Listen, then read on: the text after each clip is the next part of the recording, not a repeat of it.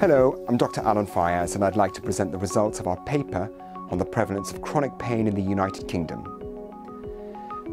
Chronic pain is a significant public health problem the world over. It has been linked with impairments in memory, cognition, sleep and sexual function. People with chronic pain report higher levels of poverty, anxiety, depression and even suicidal ideation. Chronic lower back pain has recently been highlighted as one of the most prominent causes of disability worldwide by the Global Burden of Disease Reviews. In recognition of the widespread impact chronic pain has at an individual and societal level, national governments are increasingly prioritizing chronic pain as a major public health challenge through the production of national strategies and the convening of pain summits in countries including the United Kingdom, United States and Australia. These initiatives have emphasized the importance of accurate population-based estimates of chronic pain in helping to drive and inform policies of prevention and care, as has happened for other long-term conditions such as cancer and cardiovascular disease. Despite several high-profile national reports highlighting the significance of chronic pain, there is little consensus regarding the burden of pain in the United Kingdom. The purpose of our review was to synthesize existing data on the prevalence of various chronic pain phenotypes in order to produce much needed, accurate and contemporary national estimates for the United Kingdom. So how did we do this?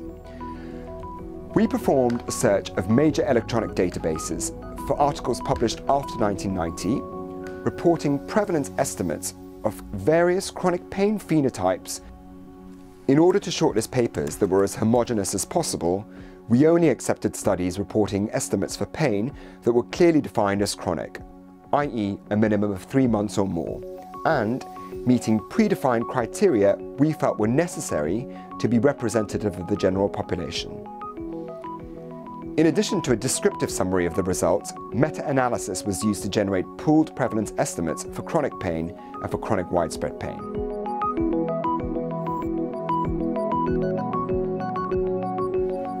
From the 1,737 articles generated through our searches, 19 studies matched our inclusion criteria, presenting data from just under 140,000 adult residents of the United Kingdom. Based on pooling of the best quality studies of the general population samples, the estimated prevalence of chronic pain in the United Kingdom is 43%, equating to just over 28 million people. We can also see that despite our fairly stringent selection criteria, statistical heterogeneity remained high. Stratifying the studies by calendar year of survey suggests that this is one of the potential sources of systematic variation, with prevalence increasing with time. Grouping studies by location of study population suggests that this is another potential source, but firm conclusions in this regard are limited by the few studies available in which to make robust comparisons and the marked heterogeneity within the groups. Looking closer at the studies that presented outcomes by the age group of survey participants, chronic pain prevalence appears to rise steadily in line with increasing age, affecting up to 62% of the population over the age of 75. This may suggest that the burden of chronic pain could increase further still in line with an aging population.